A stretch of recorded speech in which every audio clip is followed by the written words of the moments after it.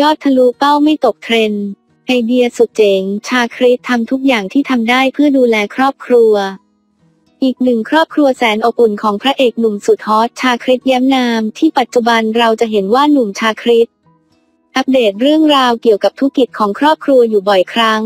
อย่างล่าสุดชาคริตโพสต์ภาพตามเทรนด์ช้างบุกครัวตัดต่อเป็นน้องโพธิ์กับตะกร้าทุเรียนอยู่ข้างๆช้าง พร้อมบอกว่าทุเรียนเขยจันทร์อร่อยทะลุกำแพง ยองคัดมากับมือกับงานนี้ทำเอาแฟนคลับฮือฮายอมใจในความครีเอทของจริง ๆ จ้าภาพจากไอจีมังกี้แอนอันเดอร์สกอร์9ฟอนโลอุสอินฟีดลี่ชาคริสแย้มนาม คัดเองกับมือทุกลูก มังคุดจากไร่เขยจันต้น 40 ปีการันตีความหวานจากเจ้าของสวน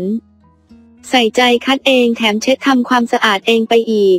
รอบที่แล้วเพิ่งจะเก็บทุเรียนไปหมาดหมาดๆมาคราวนี้เป็นคนคัดมังคุดเองซะแล้ว สำหรับพระเอกหนุ่มที่ผันตัวไปเป็นเจ้าของสวนอย่างชาคริสแย้มนามและภรรยาสาว แอนพัทิราต้องบอกก่อนเลยว่าสวนนี้เขาละเมียดละไมและใส่ใจทุกรายละเอียดจริง ๆ ตั้งแต่การปลูกเอง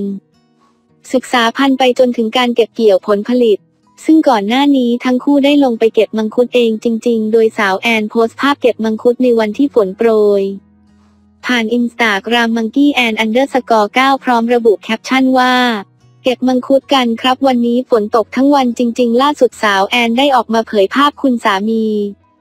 ที่กำลังเช็ดมังคุดที่เพิ่งเก็บมาสดๆแบบลูกต่อลูกงานนี้สาวแอนยัง การันตีความหวานอีกแถมเสริมว่าลูกลายเนี่ยอร่อยมากๆชาวสวนชอบ โดยเธอระบุแคปชั่นว่าคัดมือเองทุกลูก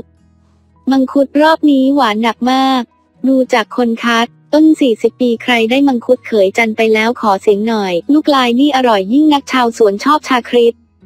เห็นแบบนี้แล้วก็ต้องอยากอุดหนุนกันบ้างแล้วแหละ เจ้าของสวนใส่ใจคัดเองแถมเช็ดทำความสะอาดเองไปอีกชาคริสปลื้มใจสวนทุเรียนที่ปั้นมากว่าหนึ่งปี จองเต็มหมดแล้วเผยลงไอจีชื่นใจจริง ปั้นมาหนึ่งปีเต็มเราทำได้หลังจากที่ผ่านตัวมาเป็นเจ้าของสวนทุเรียนเต็มตัวอย่าง พระเอกชื่อดังอย่าง ชาคริสย้ำนามก็ได้มีเฮ เพราะลงทุนเฝ้ารอดูแลสวนเป็นอย่างดีผ่านไปหนึ่งปีก็ออกผลงามให้ได้กินกันสืบเนื่องมาจากความชอบกินทุเรียนของชาคริสเจ้าตัวเลยหันมาเปิดสวนเป็นของตัวเอง ชื่อว่าสวนทุเรียนเขยจันโดยที่เจ้าตัวตั้งใจจะปลูกทุเรียนแบบปลอดสารพิษเลยลงทุนลงแรงกับคุณภรรยาแอน